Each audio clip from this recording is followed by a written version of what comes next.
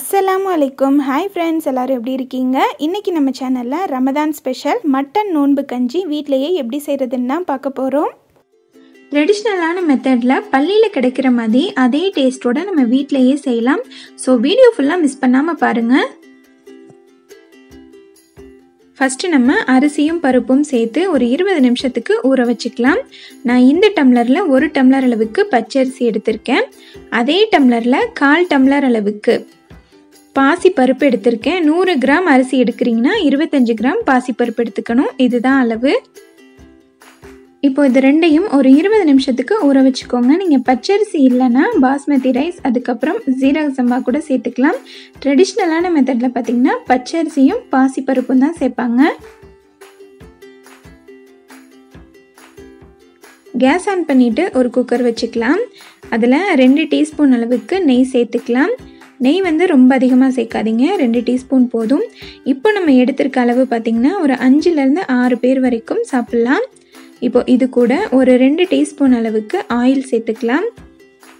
இப்போ இது ரெண்டும் நல்லா சூடாகட்டும்.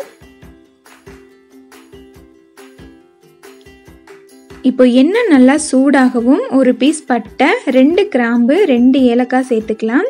ரொம்ப அதிகமாக ஸ்பைசஸ் சேர்க்காதீங்க. இதுதான் அளவு. ரொம்ப அதிகமாக சேர்த்துட்டிங்கன்னா கஞ்சி அந்த அளவுக்கு நமக்கு நல்லா இருக்காது. இப்போ ஒரு ஹாஃப் டீஸ்பூன் அளவுக்கு சீரகம். கால் டீஸ்பூனுக்கும் கொஞ்சம் அதிகமாக வெந்தயம். வெந்தயம் இந்த அளவுக்கு சேர்த்துக்கோங்க. போதும். இல்லைன்னா கஞ்சி கசப்பாயிரும். இப்போ அதெல்லாம் எண்ணெயில் நல்லா வெடிக்கவுமே ஒரு இன்ச் அளவுக்குள்ள இஞ்சி ஒரு அஞ்சாறு பல்லு பூண்டை இந்த மாதிரி குட்டி குட்டியாக கட் பண்ணி வச்சுருக்கேன். அதையும் சேர்த்துக்கலாம். இஞ்சி பூண்டு பேஸ்ட் சேர்க்காதீங்க. நல்லா இருக்காது. அதுக்கப்புறம் நூறு கிராம் அளவுக்கு சின்ன வெங்காயம் ரெண்டு பச்சை மிளகாய் சேர்த்துக்கலாம். சின்ன வெங்காயத்தை இந்த மாதிரி கட் பண்ணி போட்டுக்கோங்க. இந்த ரெசிபிக்கு பார்த்தீங்கன்னா நமக்கு பச்சை மிளகாவோட காரம் தான். அதனால் எந்த அளவுக்கு காரம் வேணுமோ அந்த அளவுக்கு பச்சை மிளகாய் சேர்த்துக்கோங்க. இப்போ வெங்காயம் வந்து நமக்கு கண்ணாடி மாதிரி ஆகிறது வரைக்கும் வதக்கிக்கலாம். இப்போ வெங்காயம் இந்த அளவுக்கு வதங்கவும். நான் பெரிய தக்காளியில் பாதி தக்காளியை இந்த மாதிரி கட் பண்ணி சேர்த்துக்கிறேன். சின்ன தக்காளியாக இருந்துச்சுன்னா ஒன்று சேர்த்துக்கோங்க. தக்காளி நம்ம இந்த கஞ்சிக்கு அதிகமாக சேர்த்துட்டோன்னா கஞ்சி வந்து நமக்கு டேஸ்ட் இருக்காது புளிச்சிரும். அதனால் தக்காளி வந்து நம்ம சும்மா பேருக்கு கொஞ்சம் தான் சேர்க்கணும். இது கூட நான் நூறு கிராம் அளவுக்கு மட்டன் கொத்துக்கறி சேர்த்துக்கிறேன். மட்டன் கொத்துக்கறி உங்களுக்கு கடையில் வாங்க முடியலைன்னா போன்லெஸ் மட்டன் இருக்கும் பார்த்தீங்களா அது நமக்கு எந்த அளவுக்கு வேணுமோ அந்த அளவுக்கு மிக்சி ஜாரில் போட்டுட்டு பல்ஸ் பண்ணி எடுத்துட்டிங்கன்னா நமக்கு இந்த மாதிரி ரெடி ஆயிரும். ஒரு ரெண்டு தடவை பல்ஸ் பண்ணி எடுத்துக்கோங்க. ஒரு தேர்ட்டி செகண்ட்ஸ் தேர்ட்டி செகண்ட்ஸ் நீங்கள் மட்டன் சாப்பிட மாட்டீங்க வெஜ்ஜு அப்படின்னா நீங்கள் இந்த கொத்துக்கறி சேர்க்காம அப்படியே செய்யலாம். கேரட் மட்டும் கூட நீங்கள் சேர்த்துக்கலாம் நல்லாயிருக்கும் நீங்கள் வெஜ்ஜாக இருந்தால் கேரட் மட்டும் சேர்த்துக்கோங்க. இப்போ இந்த மட்டனோட கலர் சேஞ்ச் ஆகிற வரைக்கும் வதக்கிக்கலாம். இப்போ மட்டனை நல்லா வதக்கியாச்சு. இந்த ஸ்டேஜில் ஒரு கைப்பிடி அளவுக்கு புதினா அரை கைப்பிடி அளவுக்கு மல்லி இலை சேர்த்துட்டு அதையும் நல்லா வதக்கிக்கலாம். புதினா தான் அதிகமாக சேர்க்கணும் இந்த ரெசிபிக்கு. இப்போ மல்லி புதினா சேர்த்துட்டு நல்லா இந்த அளவுக்கு வதக்கியாச்சு.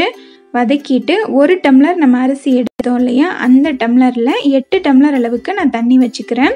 நம்ம பத்து டம்ளர் கூட வைக்கலாம். ஏன்னா நம்ம இது கஞ்சி தான் செய்கிறோம் குக்கரில் செய்கிறனால நமக்கு விசில் வர்றப்போ பொங்கி பொங்கி ஊற்ற ஆரம்பிச்சிரும். அதனால் ஒன்றுக்கு எட்டு இந்த ரேஷியோவில் வச்சுக்கோங்க. இப்போ இதுக்கு தேவையான அளவு உப்பு சேர்த்துக்கலாம். இப்போ நம்ம ஊற்றின தண்ணி நல்லா கொதிக்க ஆரம்பிச்சாச்சு. இந்த ஸ்டேஜில் ஊற வச்சுருந்த அரிசியும் பருப்பும் வாஷ் பண்ணிவிட்டு சேர்த்துக்கலாம். இந்த ரெசிபிக்கு மிளகாய்த்தூள் மல்லித்தூள் இந்த மாதிரி எந்த ஸ்பைசஸுமே தேவை கிடையாது. இதுக்கு சேர்க்குறதே இவ்வளோதான் இப்போ அரிசியை சேர்த்தாச்சு. சேர்த்துட்டு குக்கரை க்ளோஸ் பண்ணிவிட்டு ஒரு மூணு விசில் விட்டுட்டு ஒரு அஞ்சுலேருந்து ஏழு நிமிஷம் சிம்மில் வச்சுருங்க. நல்லா குழஞ்சிரும் நமக்கு. உங்கள் குக்கருக்கு எத்தனை விசில் விடுவீங்களோ ஒரு ரெண்டு மூணு சாப்பாடுக்கு எத்தனை விசில் விடுவீங்களோ விட்டுட்டு ஒரு அஞ்சு நிமிஷம் ஃபுல் சிம்மில் விட்டுருங்க. நல்லா நமக்கு குழஞ்சிரும் இப்போ நான் ஒரு மூணு விசில் விட்டுட்டு ஒரு அஞ்சு நிமிஷம் நல்லா சிம்மில் விட்டுட்டேன். நல்லா ப்ரெஷர்லாம் போனதுக்கப்புறமா ஓப்பன் பண்ணுங்கள் உங்களுக்கு பார்த்தாலே தெரியும் நமக்கு நல்லா குழஞ்சி வந்திருக்கு பாருங்கள் இப்போ ஒரு கரண்டி வச்சு இந்த மாதிரி கொஞ்சம் அமுத்தி அமுத்தி விட்டிங்கன்னா இன்னுமே நமக்கு நல்லா குலைவாயிரும். இப்போ நமக்கு கஞ்சிக்கு தேவையான அளவு தண்ணி சேர்த்துக்கலாம். ஃபஸ்ட்டே நம்ம தண்ணி இந்தளவுக்கு சேர்த்தா குக்கரில் எல்லாமே பொங்கி ஊற்ற ஆரம்பிச்சிரும். அதனால தான் இந்த ஸ்டேஜில் சேர்க்குறது. இந்த ஸ்டேஜில் உப்பு செக் பண்ணிவிட்டு உப்பு எந்த அளவுக்கு வேணுமோ அந்தளவுக்கு சேர்த்துக்கோங்க. சேர்த்துட்டு நல்லா மிக்ஸ் பண்ணி விட்டுக்கோங்க. இப்போ நம்ம ஒரு கால் கப் அளவுக்கு தேங்காய் துருவல் சேர்த்துக்கலாம். இதுக்கு பார்த்தீங்கன்னா தேங்காய் அரைச்சி ஊற்றுவாங்க தேங்காய் பால் ஊற்றுவாங்க எல்லாமே நல்லாயிருக்கும் ஆனால் நமக்கு பள்ளியில் கிடைக்கிற மாதிரியே அதே ட்ரெடிஷ்னலான மெத்தட் என்னென்னா தேங்காய் துருவி போட்டு ஒரு ரெண்டு நிமிஷம் நல்லா கொதிக்க விட்டுருங்க. அவ்வளோதான் நம்ம நோம்பு கஞ்சி சூப்பராக ரெடி ஆயாச்சு. இது தாங்க நம்ம நோம்பு கஞ்சியோட ட்ரெடிஷ்னல் மெத்தட் இப்போ நம்ம மட்டன் நோன்பு கஞ்சி நல்லா கம கமன்னு சூப்பராக ரெடி ஆயாச்சு. நீங்கள் மட்டன் சாப்பிட மாட்டிங்கன்னா இதில் மட்டனை மட்டும் ஸ்கிப் பண்ணிவிட்டு கேரட் கூட சேர்த்துக்கலாம். கேரட்டை ஸ்கிப் பண்ணிவிட்டு இப்படியே செஞ்சிங்கனாலும் ரொம்ப ரொம்ப டேஸ்டியாக இருக்கும். எங்கள் வீடே அப்படியே கம கமன்னு இருக்குது கஞ்சி உங்களுக்கு ஊற்றுறப்பவே தெரியும். நமக்கு பள்ளியில் கிடைக்கிற மாதிரியே அதே கலர் அதே டெக்ஸ்டர் அப்படியே கிடைச்சிருக்கு பாருங்கள் டேஸ்ட்டும் அப்படியே இருக்கும்.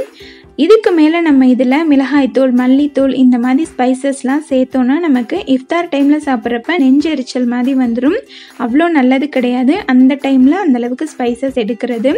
இந்த அளவுக்கு மைல்டாக எடுத்தால் தான் ரொம்பவே நல்லது. இதில் கார்போஹைட்ரேட் ப்ரோட்டீன்லாம் அதிகமாக இருக்கனால நமக்கு அப்படியே இது எனர்ஜி கொடுக்கும். ஸோ கண்டிப்பாக நீங்கள் இதை எடுத்துக்கோங்க.